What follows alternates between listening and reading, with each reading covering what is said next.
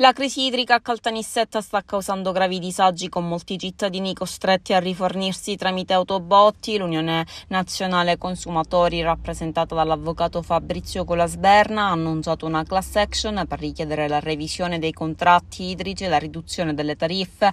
Nella nota si legge che la situazione attuale è attribuita alla cattiva gestione e alla mancanza di manutenzione da parte di Caltacqua, Acque di Caltanissetta SPA e Sicilia Acqua SPA.